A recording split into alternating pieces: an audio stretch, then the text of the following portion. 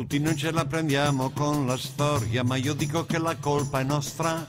È evidente che la gente è poco seria quando parla di sinistra o destra. Ma cos'è la destra? Cos'è la sinistra? Ma cos'è la destra? Cos'è la sinistra?